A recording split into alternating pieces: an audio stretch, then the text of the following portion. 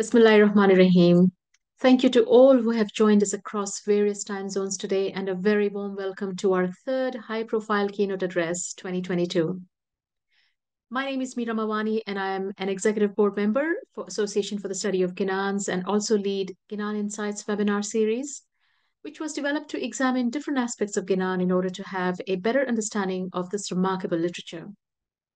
We conduct these webinars a few times a year, and through them, we hope to develop a conversation about past and current areas of research into Ginans, so that this extraordinary poetic heritage generates greater awareness and space for sharing knowledge and inspire people to study and research this wonderful tradition of Ginans. In addition, every year in December, we organize a high profile keynote address, which is graced by a distinguished scholar who brings unique perspective on Ginans. This year, we have invited yet another distinguished scholar, Professor Karim H. Karim. Before I introduce our keynote speaker, I would like to invite the chairman of ASG, Mr. Shiraz Pradhan, to say a few words. A little about our chairman. Mr. Pradhan has been the chairman of ASG since 2019. He's an engineering consultant, author, philosopher, novelist, and has been engaged in Ginan studies for 30 years and wrote extensively for Ilm UK and Simerg.com. He's proficient in several South Asian languages and published many essays and articles on Ginans. He's also the head of research at ASG. We're also looking forward to his new book, Amarapuri, which traces the footsteps of Nizari Satpanth since the time of Pir Satgur Nur. Chairman Shiraz, over to you. Thanks very much, Meera. Our Ginan Association's high-profile annual keynote address, as Meera stated, has become a well-established tradition. We try to bring leading scholars to present the latest studies on Ginans and Satpanth tradition.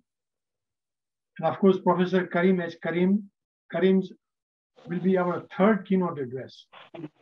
The first was presented by Professor Ali Asani from Harvard in 2020, followed by Dr. Aziz Esmail, who was at that time the director of Institute of Ismaili Studies in 2021. And we hope to keep this address alive every year. One area that has been neglected over past several decades are our granths. There are over 83 granths. These are longer narratives of prose and poetry. Apart from a few well-known such as Brahm Prakash, Bhuj Niranjan or Saloko Moto and Nano, the rest of, rest of them are relatively unknown. We aim to bring these to light in year 2023, 24, and beyond through our lectures and through our publications. I won't take too long. Please continue to support us in our journey to preserve and promote our Ginan traditions. We very much appreciate that. Thank you very much. Thank you, Chairman. And now, the moment we've been waiting for. I'm delighted to introduce Professor Karim H. Karim. He is Chancellor's Professor at Carleton University and has held directorships at the Carleton Center for Study of Islam and the Institute of Ismaili Studies. Dr. Karim is a critically acclaimed award winning author whose research covers several areas, including the Satpanth tradition, contemporary Ismaili developments, the clash of ignorance, intercultural relations, diaspora, the social dimensions of technology and the social dimensions of technology usage. He has been a visiting scholar at Harvard, Simon Fraser, and Aga Khan universities and has helped to establish academic programs in Kenya and Central Asia. Professor Karim has delivered distinguished lectures in several countries and has been asked to provide his insights by media organizations around the world. Canada's government has honored him for fostering collaboration between religious communities. Dr. Karim has organized several international conferences, including the second Ismaili Studies Conference. He and his wife recently established a prize to recognize research excellence in understudied aspects of Ismaili studies. Professor Karim, it is an honor to have you with us today, and I'd, like I'd like to hand it over to you now. Thank you very much, Meera. Really appreciate this. I'll just put up my uh, presentation. So good morning, good afternoon, uh, and good evening to people who are watching in.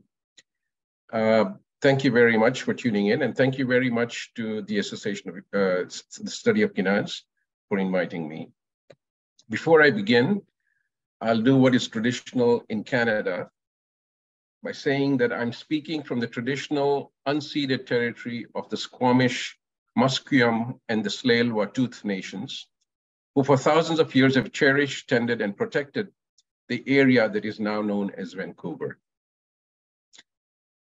This lecture is dedicated to the memory of Dominique Sila Khan, who was a scholar of South Asia's shared and overlapping cultures. So what I would like to state at the outset is that my purpose is to demonstrate that the question of whether Ginans are Islamic or Hindu is itself misplaced. It is superficial, it focuses on constructed identities, and it does not necessarily deal with spirituality. This lecture will cover the following that the Ginans in a universal human context. It is important to understand the interconnections of human spirituality. We also need to recognize the problematic understanding of the term religion. There is a, has been a search for universal truth in various Ismaili traditions, in fact, all Ismaili traditions. We need to know Satpanth and Ginan's placement within the Indic Islamic context and to recognize that Ginans have a certain perceptiveness, dynamism, and eternal relevance.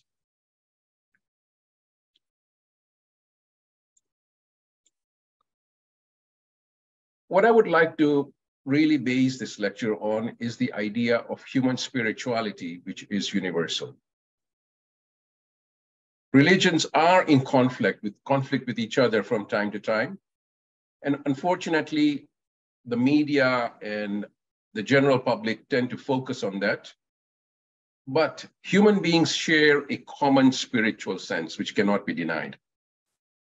Most feel the desire to nourish the inner being, the spirit. We hold goodness, morality, ethics, and truth to be important. And people strive for a connection with each other in a spiritual way. Now, of course, there are atheists and agnostics who may not agree with this, but religious believers certainly seek a deep relation with divinity.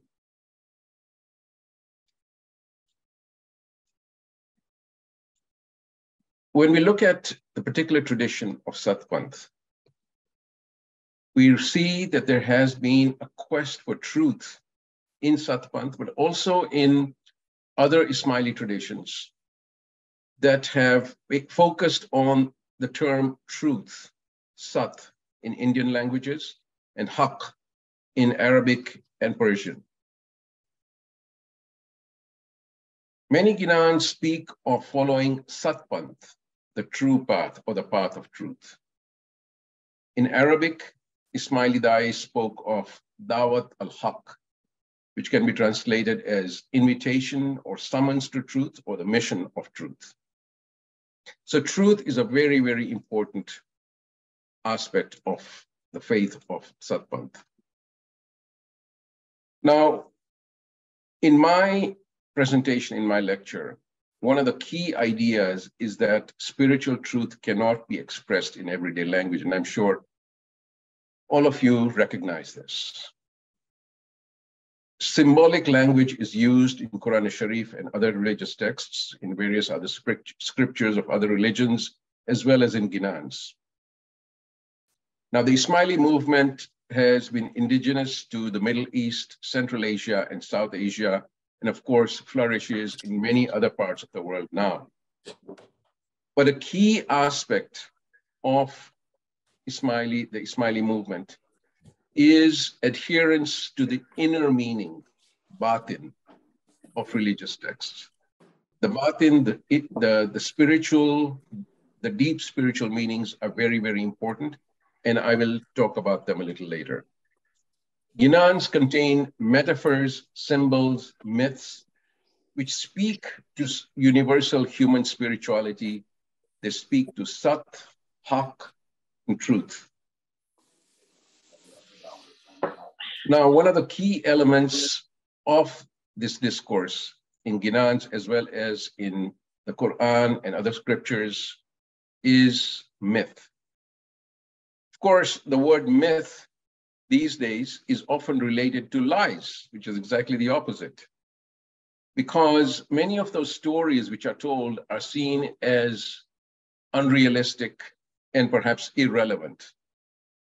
But in fact, within these myths, whether they are Norse myths or Indian myths or Chinese myths, doesn't matter. They speak to human beings in a very profound manner.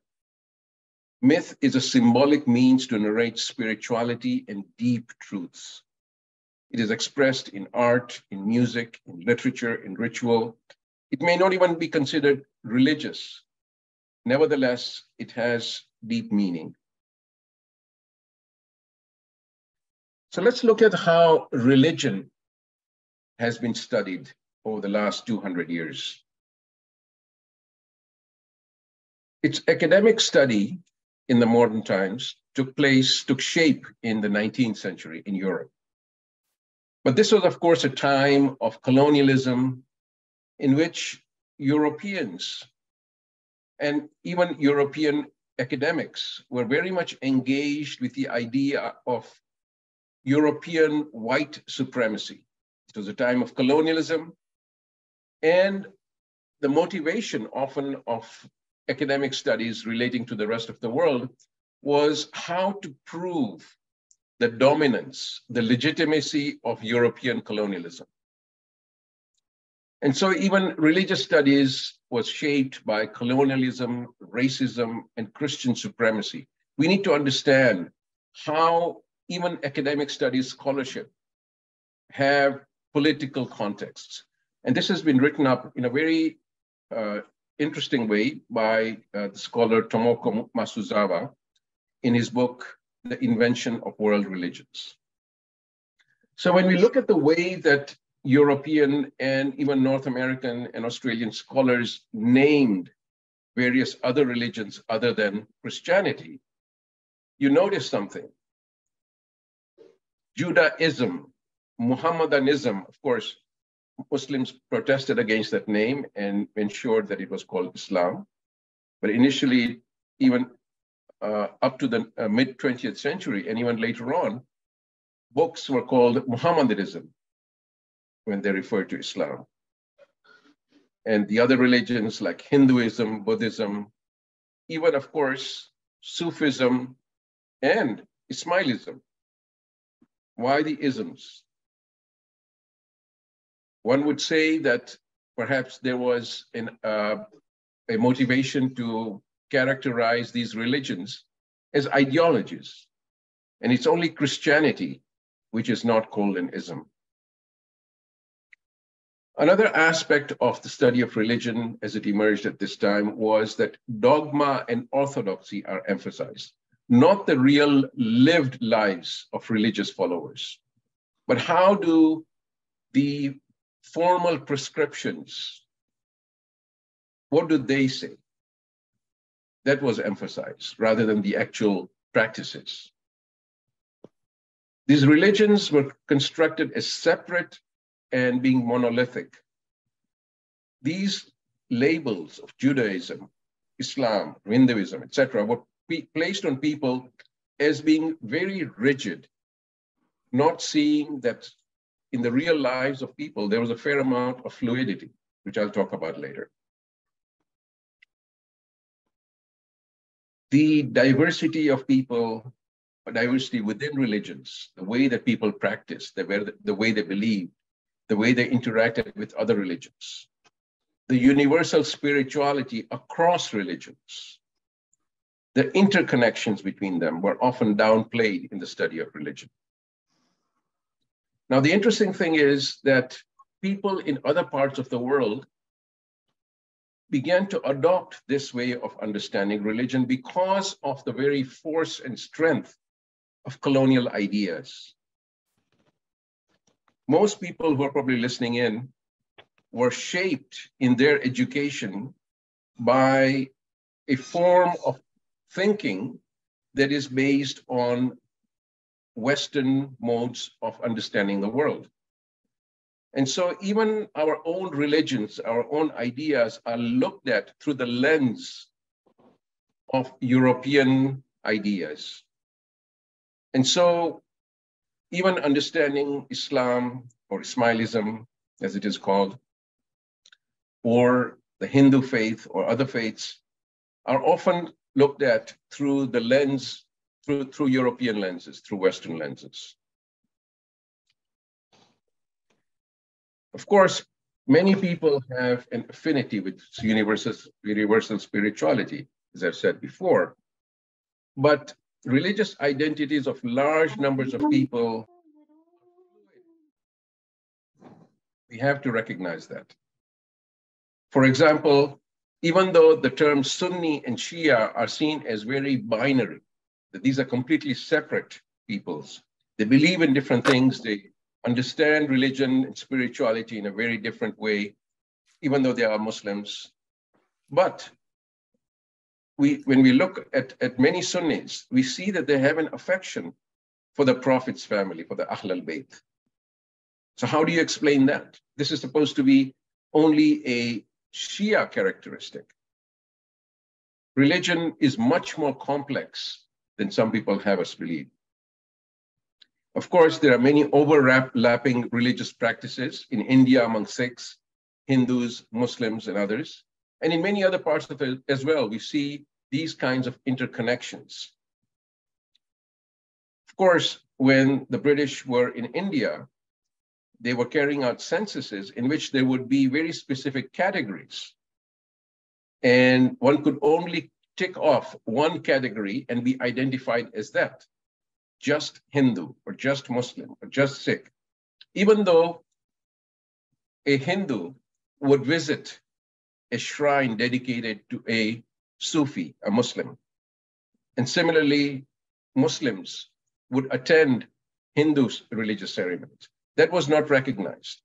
They were just pegged into these boxes, which in which people began to then rethink their identification. The fluidity often was put aside, not completely, but often. And group separation began to harden as a mode of self identification. People began to stay away from each other. Now, when we look at the Quran, the Quran Sharif, and we look at the word Islam or Al Islam, it is mentioned only 10 times in the Holy Quran. Of course, this is the religion that was identified in terms of what was preached by the Quran and by Prophet Muhammad, may peace be upon him. Nevertheless, when we look at the word Deen, it is mentioned 98 times. It is a Semitic word, which is also used by other Semitic peoples like Jews, and Sabaeans, uh, it's in the Aramaic language. It is understood very broadly as the spiritual way, not specific religions, but religion in general, spirituality in general. And when the prophet preached, to him, a broad approach is very clear. It is, it, it is what he favored. He reached out to Jews and Christians and Sabaeans and various other peoples. This is how he thought of his religion, of Islam. Unfortunately, over many centuries, Muslim thinkers, theologians have tended to narrow down the broadness of Islam and of Deen, which has unfortunately had, had has had strong consequences in the way we think about Islam. When we look at the word Hindu, it actually is a term that was derived by Persian geographers who were studying India, and it was derived from the word Sindhu, which refers to the Indus River. in Indian languages, in Sanskrit. Now, the term that people in India use to describe their own faith is Sanatana Dharma, which refers to the eternal way. Of course, the word Hindu has become more common, but Sanatana Dharma is the basis of religious belief in India traditionally. So we can see that deen, the words deen and dharma, are consonant in universal spirituality, reaching across all human beings. Both Islam and Hinduism, unfortunately, as terms for religions, these two separate religions have become appropriated by identity politics. And this has created a certain division and separateness among people who follow these religions. And I'll talk about that later. Now, Maulana Sultan Muhammad Shah, Aga Khan III, 48th Imam, said in his memoirs, Abraham, Moses, Jesus, and all the prophets of Israel are universally accepted by Islam. Muslims indeed know no limitation merely to the prophets of Israel. They are ready to admit that there were similarly divinely inspired messengers in other countries. Gautama Buddha, Sri Krishna, and Sri Ram in India, Socrates in Greece, wise men of China. You can see the kind of broad spiritualism, the universalism that the 48th Imam talked about.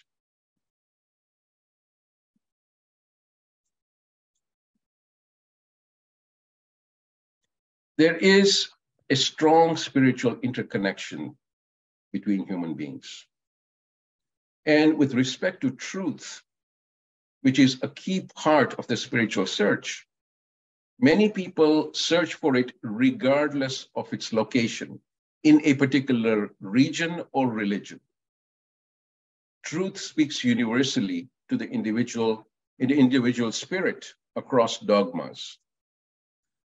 I'm not saying that dogma does not contain truth, but I am emphasizing truth beyond dogma. Often, truth is found in the in between, in the interstices, in the spaces that bridge religious and philosophical systems.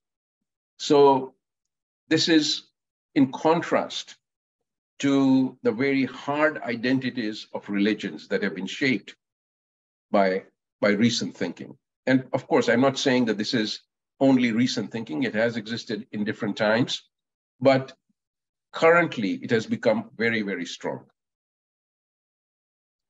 Nevertheless, individual believers have long crossed over religious borders, and this is not necessarily conversion.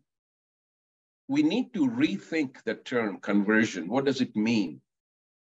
If human beings, through various religious paths, are ultimately devoted to truth, to a universal spirituality, then what does conversion mean? I would like you to pause for a second and think about your own religious identity. And also then consider what is your relationship to universal spirituality, to the search for truth? How do the two relate? And are the two mutually exclusive or not?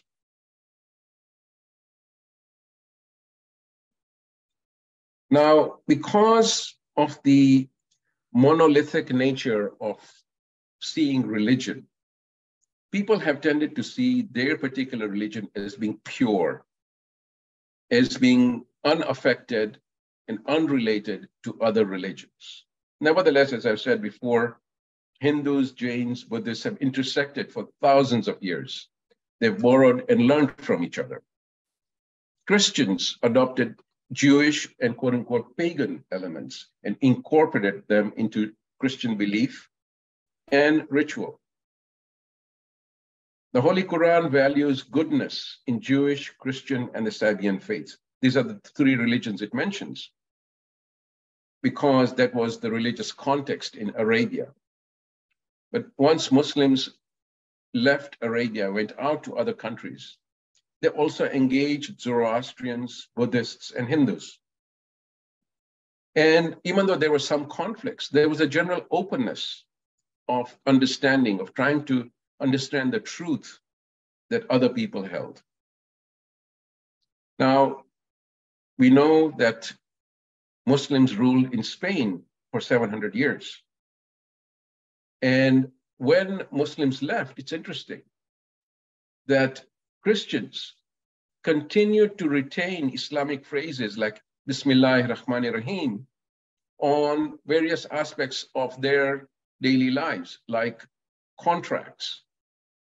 Contracts would start off with Bismillah Rahman Rahim, often in the Spanish language.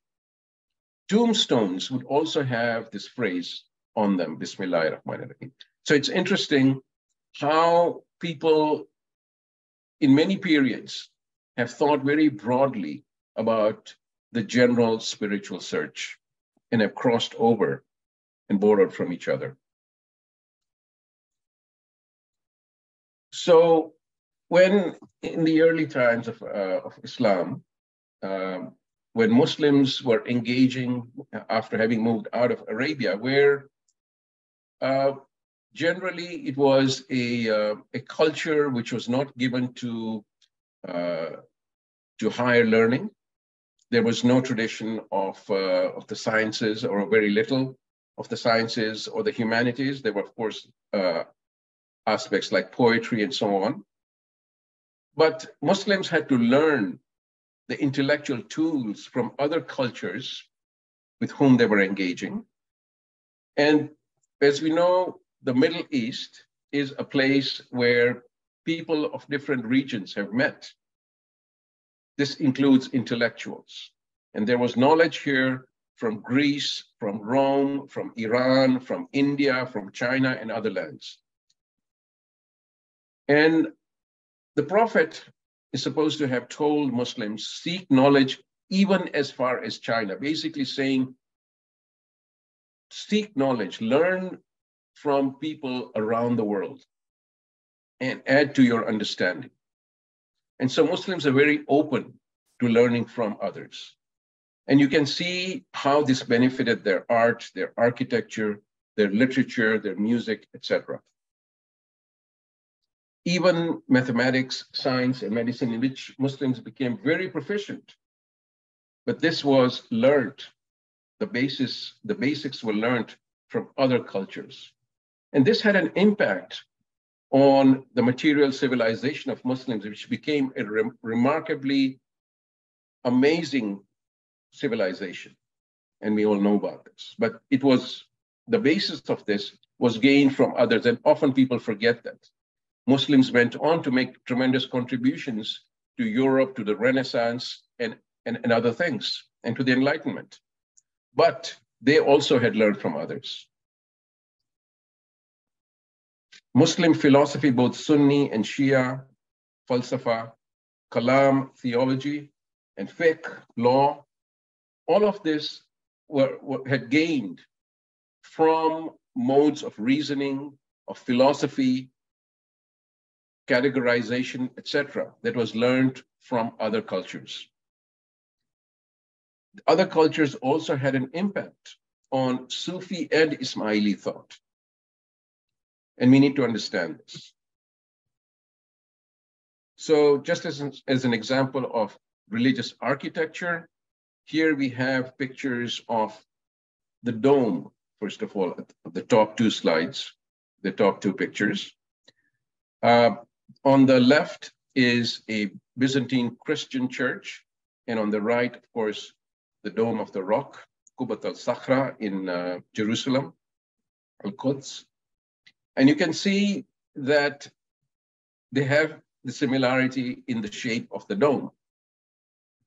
Now, when the Qubat al-Sakhra, the Dome of the Rock, was built in the early days of Islam, many Byzantine workers and architects worked on this mosque because this was the area in which where they lived. Similarly, the arch, which has become so characteristic of Muslim architecture, was also borrowed from Byzantine Christian religious architecture. On the left, you have the design of uh, the Byzantine um, uh, arches, and on the right, the famous mosque of the Umayyads, the Umayyad Mosque in Damascus. So you can see how even re in religious architecture, there is this crossover. Of course, we take the tasbih as a as something that is part of how people uh, carry out their devotions, but don't think of its origins.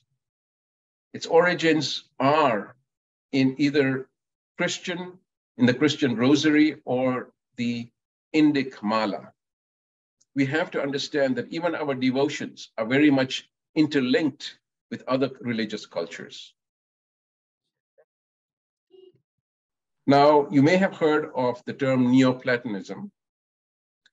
It is a particular uh, philosophy of uh, emanation and relates to uh, understanding um, uh, the, the, the, universe and people within it, um, of understanding God uh, and elements of spirituality this was a, an aspect of the Hellenic culture, of Greek culture. Uh, Plotinus, was a philosopher who lived in, in Egypt, I believe in Alexandria, had built on the famous Greek philosopher Plato's ideas uh, and had developed this model of uh, Neoplat- uh, this Neoplatonic model of emanation. It had a huge influence on Muslim philosophers like Al-Farabi, Ibn Sina, and others uh, in the way that they understood uh, divinity and the perfect ruler. So in terms of political science in, uh, in Muslim philosophy. Among Sufis, Ibn Arabi and Al-Suhrawardi adopted Neoplatonism and the idea of emanation to explain spirituality in their own specific ways. And among Ismailis, we see it in the work of the Ikhwan al-Safa, the Brethren of Purity, and in the work of Abu Yaqub al-Sijistani, as well as many other Ismaili philosophers. They used it to explain Ismaili beliefs of uh, the way to understand God and creation and imamat. So you can see how other cultures, other ideas from other intellectual systems are being used to explain the inexplicable. As I said earlier, it is very difficult to explain spirituality in everyday language.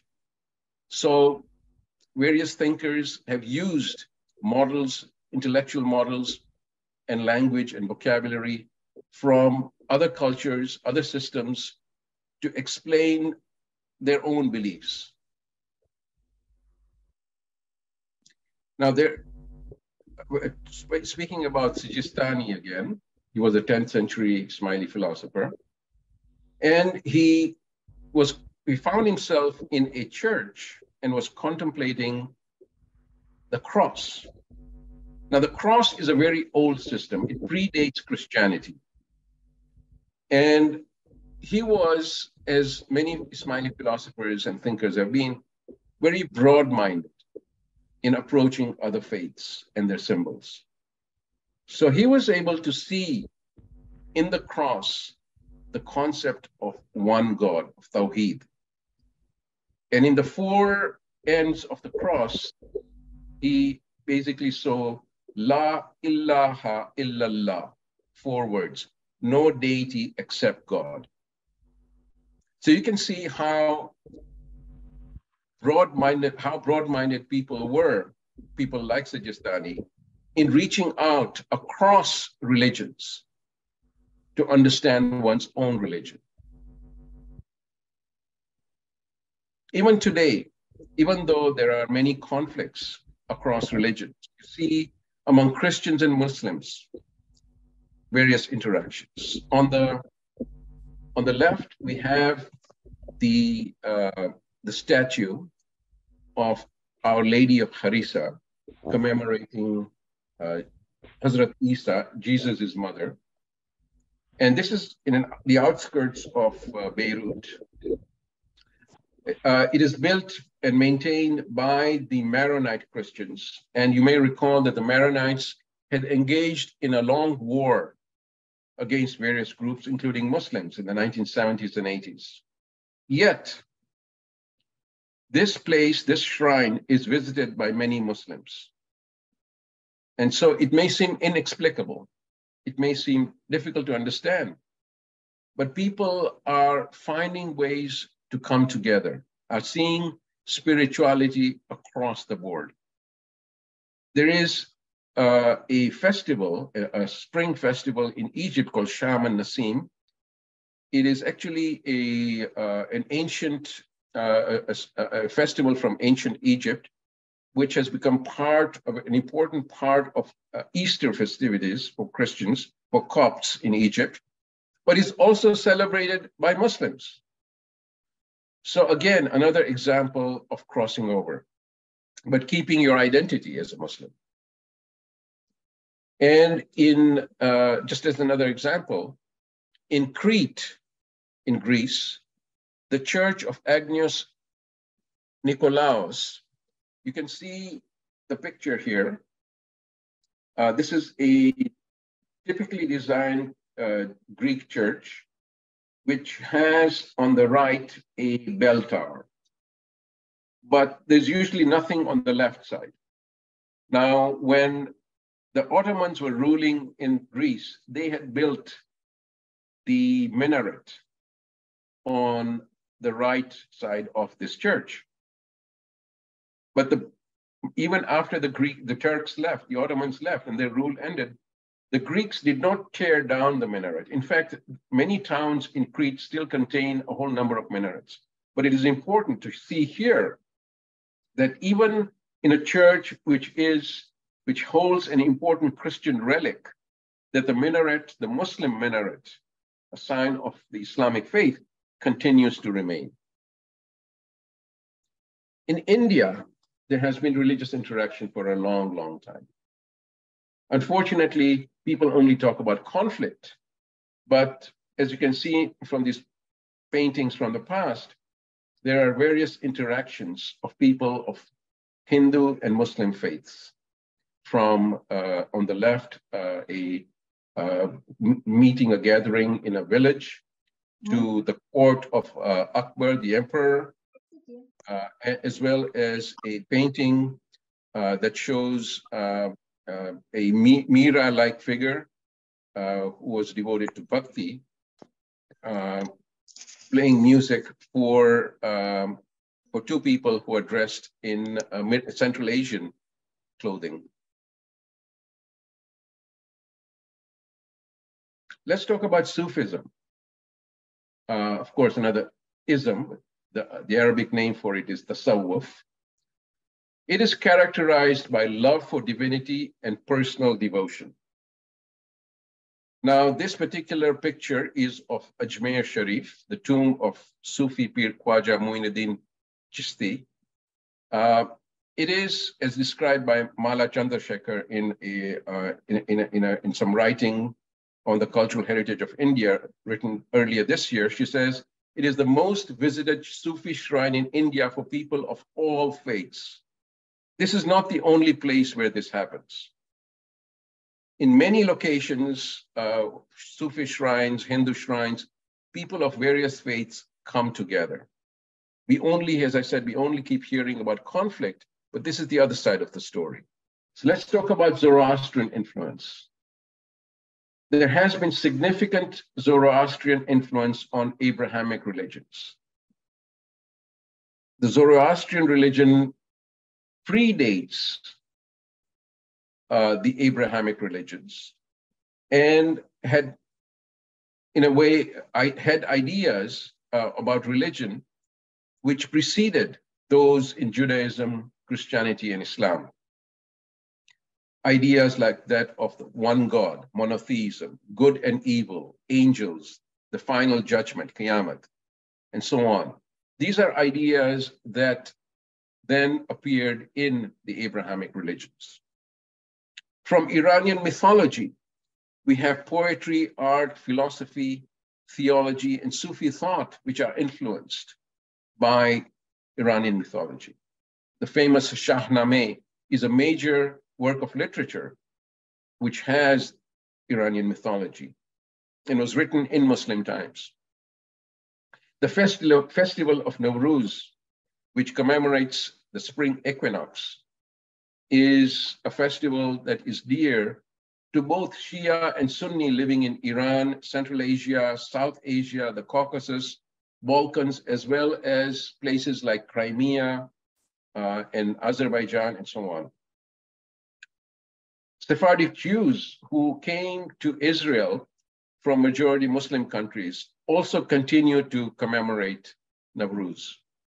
So another example of the crossover. Of course, Nowruz is a major Ismaili festival. And we see many other influences of Zoroastrianism and ancient other ancient Iranian religions in, in the Ismaili faith, the practices of the Ismaili faith. We see it in Persian Ismaili philosophy and poetry. We see it in the design of Pamiri houses, as well as in the commemoration, the celebration of the Chirag Roshan in Pamirs, as well as in other parts, uh, as in some parts of Badakhshan.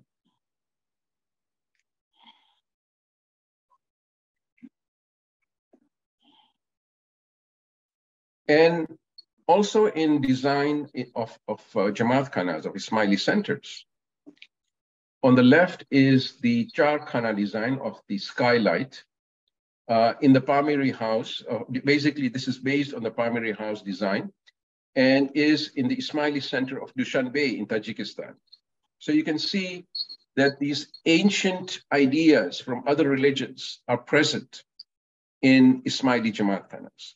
Similarly, in the Ismaili Center, which is being built in Houston, the column style are from, is from the ancient Persepolis uh, design of columns and you can see that this continues. This is something that is has become part of contemporary Ismaili architecture.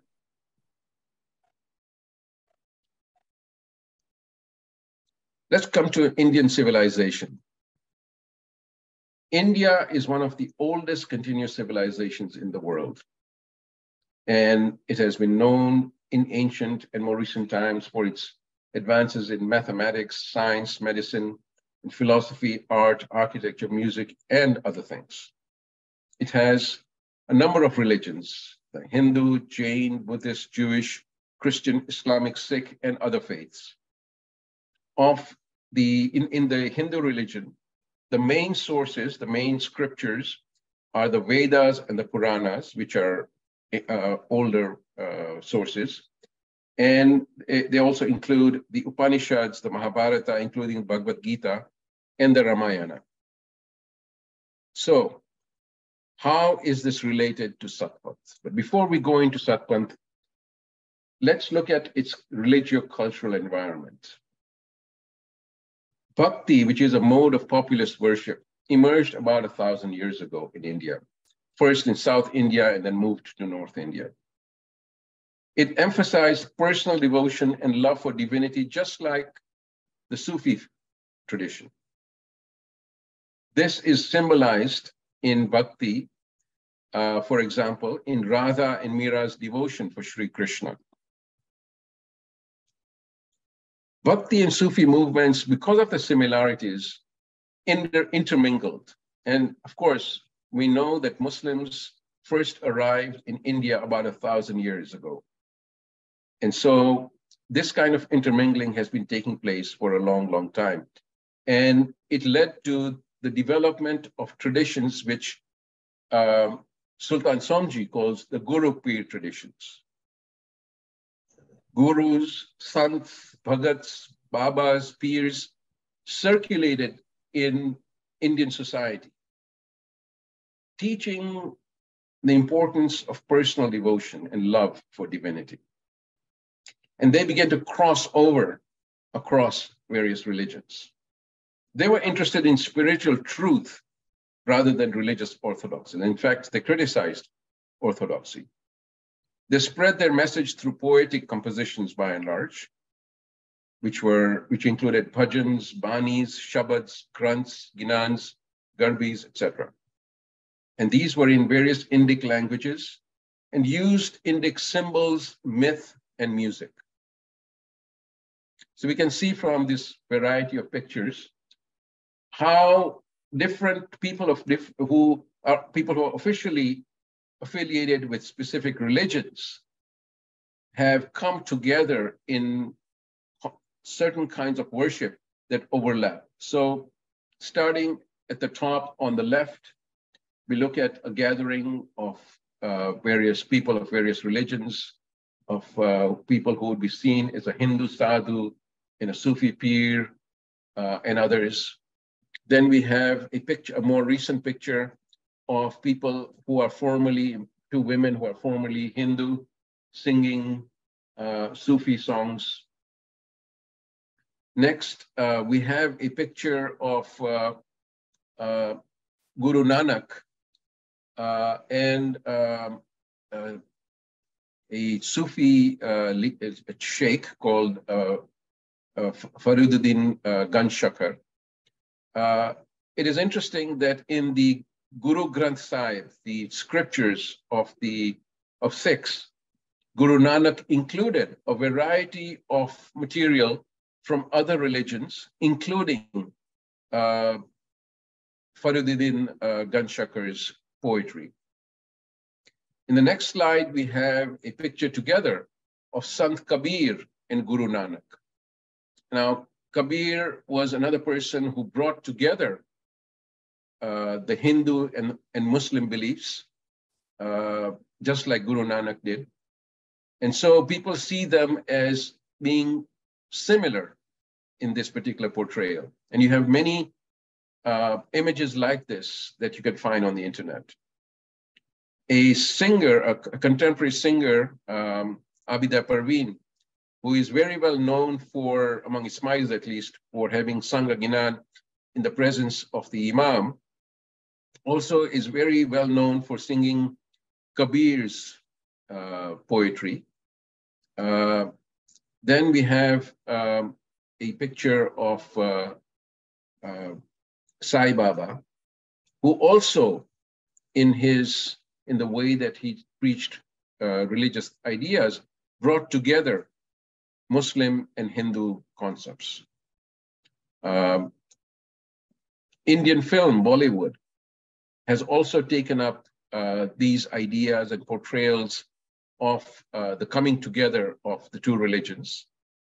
And here in, in, uh, in one of the slides, we have a picture of, uh, it's actually from the movie uh, Amar Akbar Anthony, in which the person playing the character of Akbar, uh, a Muslim, is singing a qawwali in a very Hindu, a characteristically Hindu setting of a temple dedicated to Sai Baba. So these, these kinds of social phenomena, religious phenomena cut across various borders. Then we have a slide which says, Rafi to now, there is a tradition of Muslim bhajan singers. And of course, as I said, uh, Bollywood has, has certainly shown, at least earlier Bollywood films from previous decades, have, have included uh, Muslim singers singing Hindu bhajans in a very, very deeply felt and emotional way. Uh, you also have um, uh, the tradition of uh, Mira bhajans, which are sung by Muslims. You have the Bauls, uh, uh, a tradition in Bengal, where um, the coming together of Muslim and, and Hindu ideas and practices have really flourished among the Bauls. And Ginans, of course, uh, which have brought together these ideas and which I'll talk about further. But in this particular uh, image, it is a, an album uh, in which uh, a person of Sikh background, Rageshwari Loomba, has sung Ginans and recorded them. And of course, Ismailis also sing ghazals uh, and Sufi songs and bhajans and so on. So this is something that is quite typical in understanding how religions, how faiths have come together and do come together. This is very much in contrast with the hard identities that, is, that have become quite uh, common in the way that we understand religion. So let's talk about Guru traditions. There's a wide following uh, of these traditions in India, Pakistan, uh, Bangladesh, and in diasporas. Even though people may have formal identifications as Hindus, Muslims, Sikhs, etc., they have these crossovers while maintaining their identities. Even among Satpanth groups, we have uh, Ismailis who identify as Muslims, but then another Satpanth group, the Imam Shahis, who have a general Hindu outlook. Yet both sing Ginans and call themselves Satpanthis. The Guru Pir traditions are occasionally critical of orthodoxy and ritualism. Some people would say are often critical of these things. There are disagreements and rivalries even among them. It's not, not all hunky-dory between them. They do disagree with each other. Uh, but they share a universal outlook on the search for spiritual truth. So in terms of Satpanth beliefs, one way to understand how the Ismaili faith came to India is to see it as peers from Iran planting the seed of Dawat al-Haq, the invitation to truth as the religion was known as the faith was known in the Middle East, in Indian soil. And this came to be known as Satpanth, a synonym, I imagine, of Dawat al-Haq. Of course, this quest for truth is expressed in Indic Islamic religious culture. Ismaili Satpanth holds to the Shia centrality of Imamat, that the Imam is Satgur, using Indian terminology, that he is the true teacher, the teacher of, or the teacher of truth. This corresponds uh, to the term mohek in Arabic Ismaili vocabulary. And he is presented in Ginans as the final manifestation in the cosmology of Vishnu's avatars. So you can see that the ideas that are taken are from the uh, religio uh, cultural context of, uh, of India. The word Ginans come from the Sanskrit root, as you may know, of Jnana, which means knowledge, religious knowledge or spiritual knowledge. And they have, uh, they, they comprise of diverse lyrical compositions, Ginans, granths, garbis, ventis, etc. And they're attributed to various peers and sayyids, Shams, Sadruddin, Imam Begum, etc. And they are recited by Khojas, Momnas, Shamsis, Guptis, Imam Shahis, and others. Their content and vocabulary is polyvalent, the term that is often used by Ali Asani. So what we have here is Shia Ismaili Islamic concepts Sufi and Bhakti devotional modes, Vaishnav cosmology and myth, and North Indian or Hindustani raga musical tradition.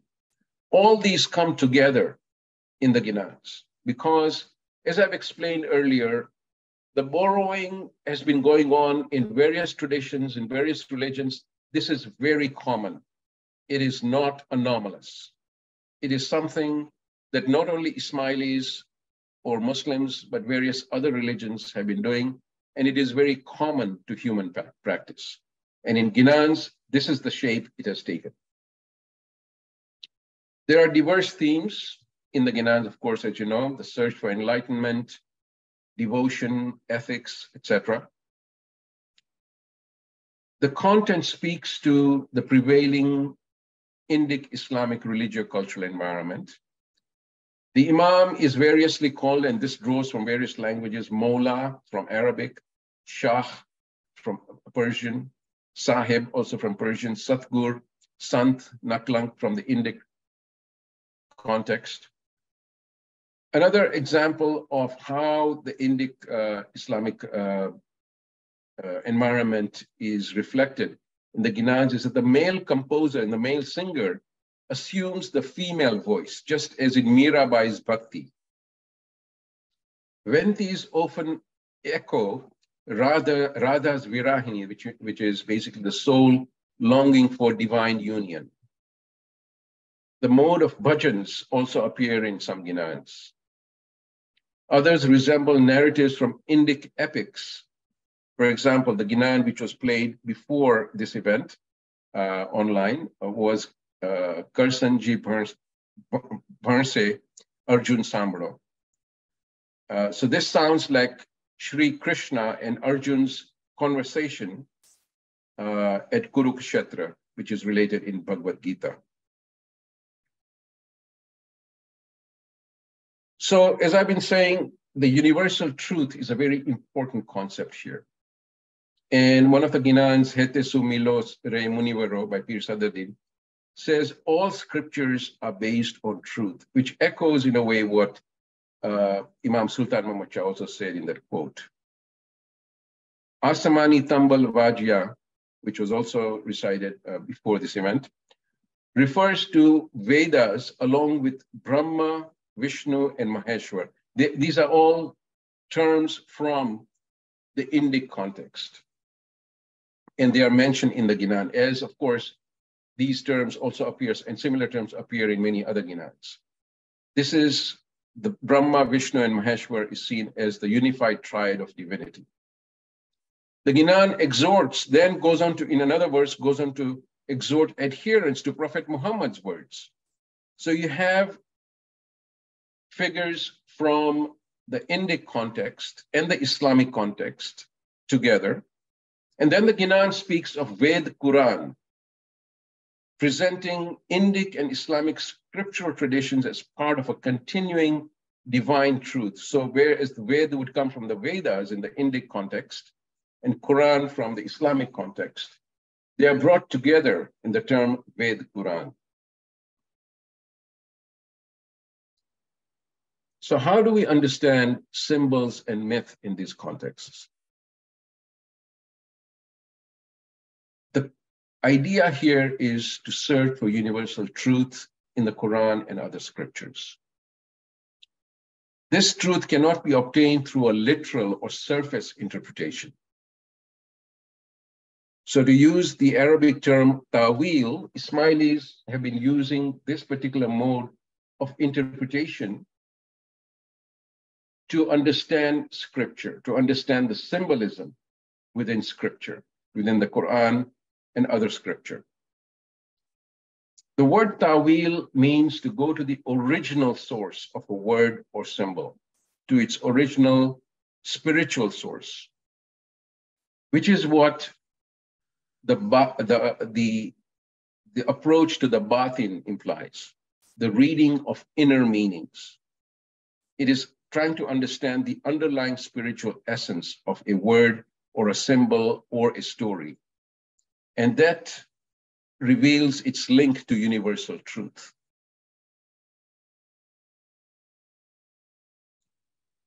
So Guru Pir traditions, as I've said, you know, have come about through the intermingling of Vedic and Islamic traditions.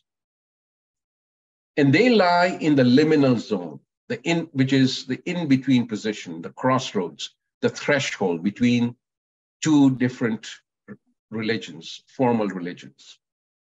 The word liminality offers, or the, the status of liminality, offers unique perception, not a one sided perspective. It is a multidimensional site of the human quest for truth, and it is not confined by narrow notions of religion as being very monolithic. The Guru Pir traditions are at the intersections of the Indic and Islamic worldviews. This space is rich and dynamic. It is integrative of traditions and worldviews, and it is also generative of art and thought and nourishes deep spirituality. One way to, at least what I have found uh, useful in understanding this particular idea is a recent um, art installation by uh, the artist Anish Kapoor, who is uh, British based. Uh, in this installation, he shows how two elements on the sides uh, are in juxtaposition with a circle in the middle.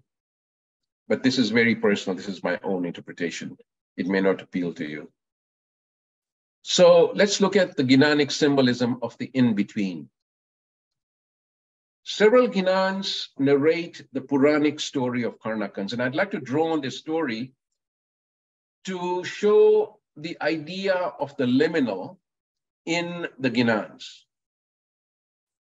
In this symbolic narrative, the demon king who, who could be vanquished not by a being in human or animal form, neither during day or night, neither indoors nor outdoors, neither on earth nor above. So basically, he was invincible.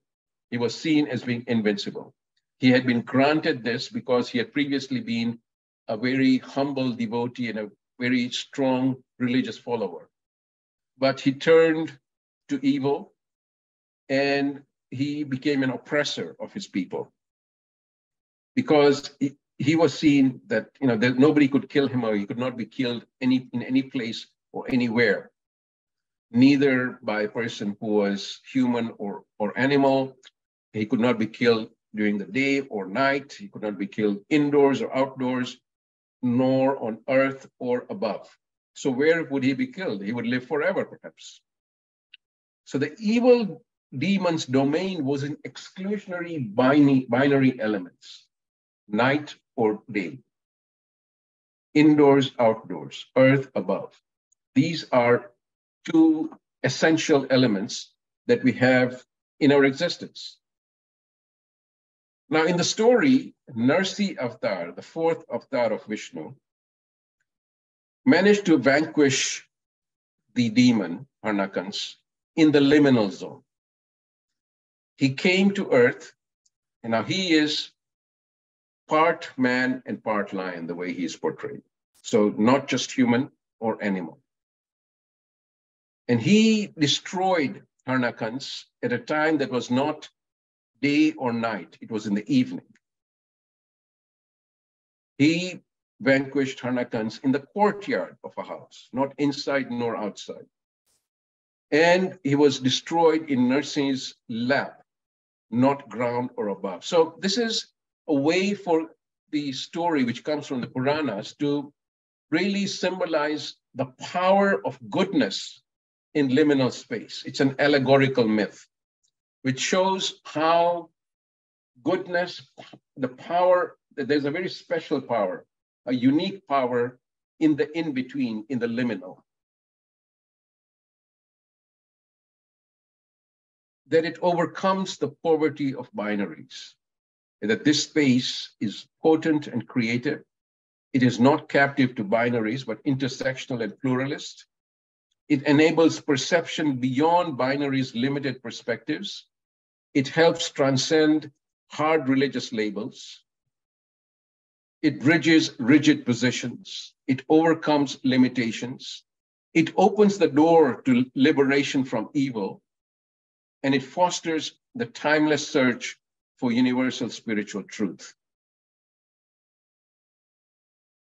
So we can see that Satpanth has incorporated into itself some very interesting ways of explaining goodness and truth. Nevertheless, today, we find that there are threats to Satpanth and to other Guru Pir traditions. That this happens because extremists gain power by ascribing enemies with hard identities. They, they they do not, they are not uh, favorable to the in-between to liminality. They use identity politics to erase the space in between. when rigid categories, categories erase rich fluidity of human existence, a state of profound loss descends on the world. When, when Satpanth is, is neglected, when the liminality, when its fluidity is not understood, when there's a threat to it from both sides, whether it is Muslim or Hindu. This is when the problems start occurring. Because there's a dominance today of people favoring rigid labels like Islamic and Hindu. They do not value the place of liminality in the spiritual quest. They do not discern the timeless validity of myth based symbols. They do not recognize the search for universal truth in Ginans. And so, what I've tried to do is to show that in Satpanth and in Ginans and in the various Guru Pir traditions, there's something very special that tries to transcend the hard identities which have caused the kind of friction and conflict that unfortunately exists in many parts of the world. But I have found some optimism in my own backyard, living in Canada. I've seen that a people who were suppressed, who, whose culture, whose spirituality, whose way of life, whose language was suppressed by colonialism for 200, maybe more, more than 200 years, are coming back. They are teaching their children their own language, their culture, their spiritual ways. And it is a lesson for us to respect what is what has been part of our ancient traditions, what has been part of our way to understand spirituality and the truth, and perhaps regain for ourselves some of what we have lost. Thank you very much. Thank you, Professor Karim. An amazingly thought provoking talk, and it was filled with insights. Um, I have a few comments on your lecture and, and a brief summary, if I may, uh, Professor Karim. Uh, what an insightful lecture this was, because I remember when we were promoting your talk through several media, we received many messages from people who were quite um, intrigued and curious to know whether Ginans are Hindu or Islamic, one or the other. Um, and I think you have masterfully demonstrated how this question itself is flawed. Um, that we're looking at the question through such a narrow lens of constructed identities of religion. And looking deeper, we could find that as human beings, there is so much more that we share, what you call a common spiritual sense, the need to nourish the inner being and have a connection with each other. In addition, you also talk about how believers of all religion, religions seek deep relationship with divinity. You talked about how the quest for truth or Haq or sat underlies human spirituality and how Quran, Ginans, and various other religious texts express spiritual truths through myths, symbols, metaphors, through different art forms, music, literature, and ritual. You also showed about how different religions interacted with each other, borrowing from each other's intellectual traditions, which again is reflected in art, architecture, literature, and music. It was very interesting to note that many religious traditions have similar ways of remembering God through, you showed the mala and the rosary and the tasbih, and you talk of the various Christians and Muslim interactions with each other in the past and even present, like the Sufi shrine of Khwaja Moinuddin Chishti, which is visited by people of all faiths. Then when you come to the Satpanth religious cultural environment, you showed how the Bhakti and the Sufi movements intermingled with the Guru Pir tradition in the Indian subcontinent. And coming to the Satpanth beliefs, you noted that peers from Iran planted the seed of, seed of Dawat al-Haq and expressed their quest for truth in the form of Gnans in the subcontinent. Also, the vocabulary the peers talk in embodies not just the Shia Imami concept of imamat, but also speaks through the Sufi and Bhakti devotional modes, the Vaishnava cosmology, the myth, along with the Hindustani raga or musical traditions. So it is all a combination of the culture, and it reflects the culture in that time, at that time. The Ginans have a diverse theme, such as you, like you mentioned, search for enlightenment, devotion, ethics, and so on and how the peers have seamlessly weaved Ismaili Satpanth with symbols, epics, and forms of music with the prevalent culture. You also share the example of how the Bhagavad Gita is narrated in the Ginans, and many Ginans refer to the Vedas on Brahma, Vishnu, and Maheshwara as a unified triad of divinity. But at the same time, the peer time the peers speak of the way the Quran presenting the Indic and Islamic scriptural traditions as a part of continuing quest for the divine truth. But understanding these myths and symbols through a literal or surface interpretation defeats the purpose, as you as you point out. And you also talk about how, as Ismailis, we use Tawil to interpret. Um, and its batin or the esoteric reading of its deeper spiritual meaning.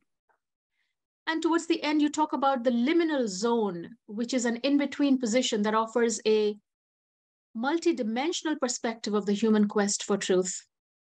And that cannot be defined by narrow notions of religion, which, as you beautifully put it, is integrative of traditions and worldviews.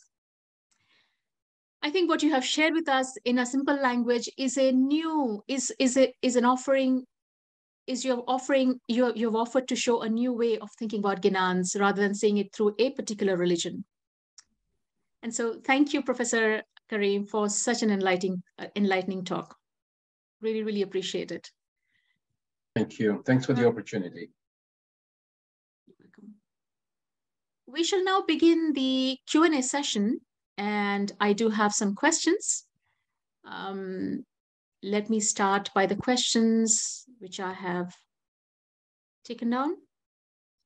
One of the first questions I have is, um, is, uh, is it Ali Anant Anant or Hari Anant Anant?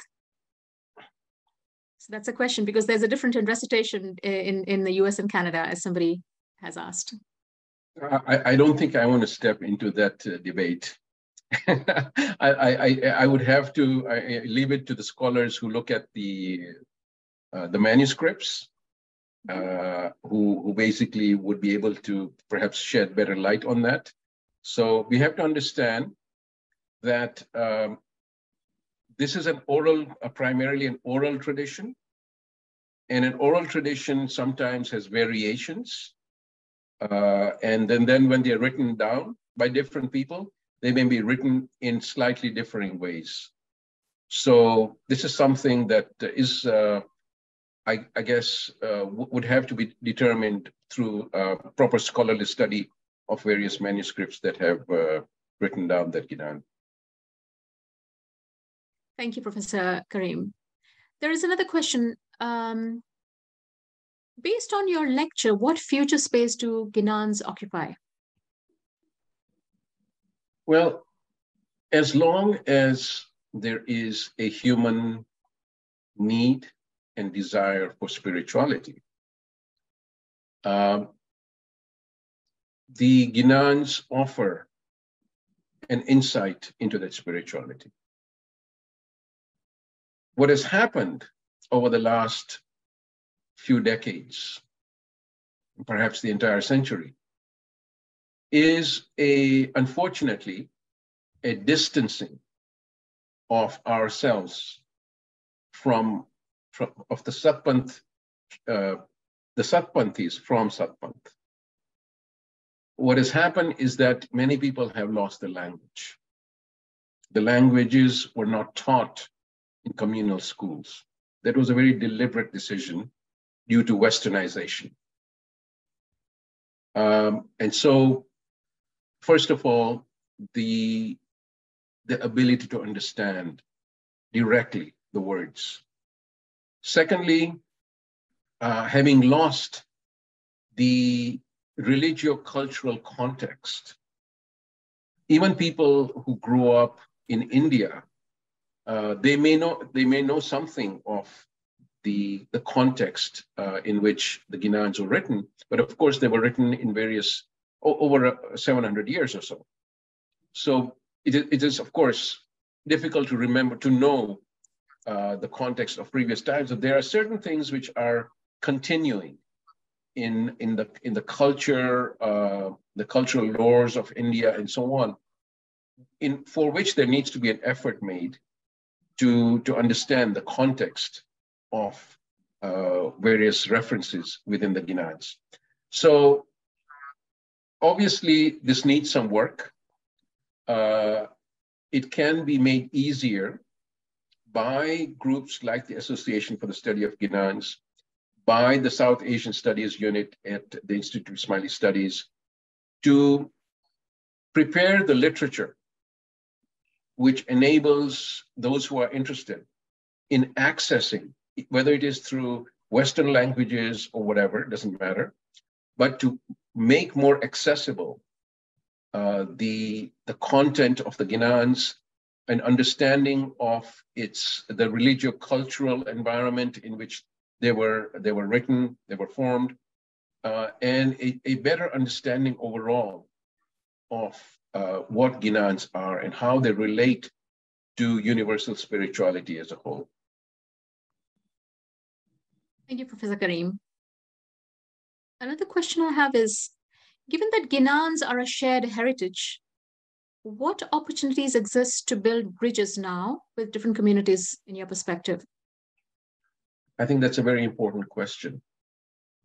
Um, singing Ginans together with other people who sing Ginans, I think would be a first step. Uh, that, that hopefully would open up doors uh, because the, the hard identities have, have created these separations. It is often in song that we come together, in music. Uh, secondly, uh, carrying out a dialogue based on the commonalities, not the differences. That would help. Uh, finding other ways of reducing conflict, of understanding the damaging and the negative elements of identity politics. I think that is very important. So hopefully that will lead to better understanding. That's a very good answer.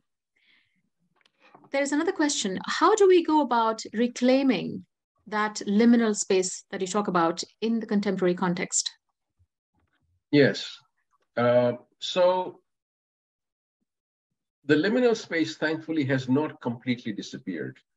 The very fact that we are sitting here today having these discussions shows that there is in existence a Ginanic culture in the community and in other communities that it has this liminal space, even though people may not consciously think of the interconnections uh, of different cultures and different religions that exist in Satpanth and other Guru Pir traditions.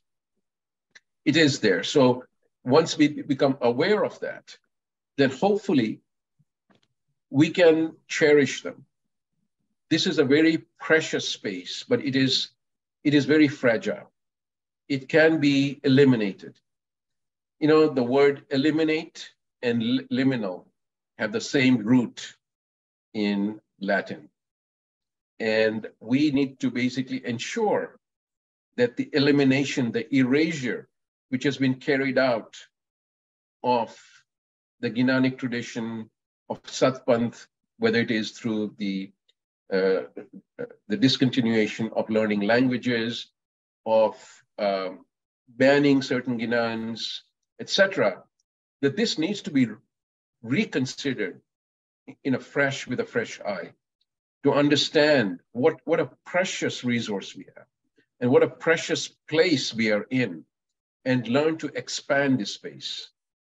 That we can do it, first of all, by recognizing its value ourselves and carrying out a dialogue, a discussion amongst ourselves and with those people who have the ability to, to expand this even more within the community. Thank you, Professor Karim. one other question. Singing of Ginans is referred to as music of the heart. So why are we using musical instruments? Well, I, I don't know where this phrase comes from. Um, I know that uh, composers, Sayyids like uh, Imam Begum, used the tanpura. Uh, I know that there is a, um, a tradition of uh, just singing the Ginans a cappella without music. Um, it's a debatable issue. Uh, I know that when I listen to Ginans, just the voice, it's very enriching. When I hear Ginans with music, it's also enriching. So I personally don't have a problem. Right. Um, there is another question which says, which asks, are Ginans devotional or sacred scriptures? That's an interesting question. Uh, when you, when someone uses the word devotional, uh, basically, okay. So first of all, let's let's remember that when we use the word ginans, we're talking about perhaps a thousand ginans and very few of them are recited, but, but there are many, many Ginans.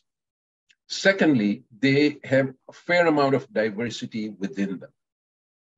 So some which, which basically uh, refer to the path of the believer in recognizing the Satguru, of following him, etc.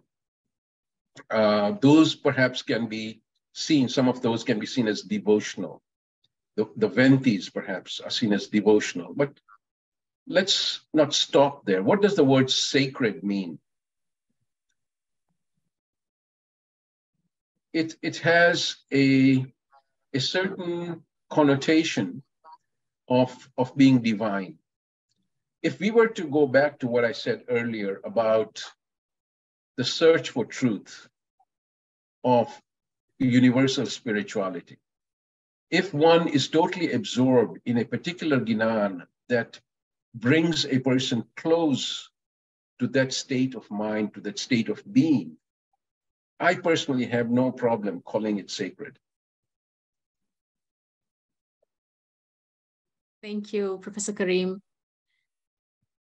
I think think this brings us to the end. So on behalf of ASG, let me take this opportunity to say a heartfelt thank you to Professor Karim for sharing your uh, wealth of knowledge with us. I have thoroughly enjoyed listening to you all, to you, and I think so have all of us. Um, we're all enriched by the in-depth understanding and knowledge you have shared with us, as well as your time.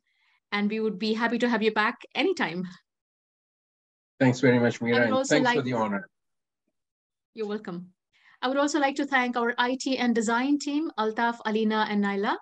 Special thanks to the chairman who has been working tirelessly behind the scenes along with some of our own members.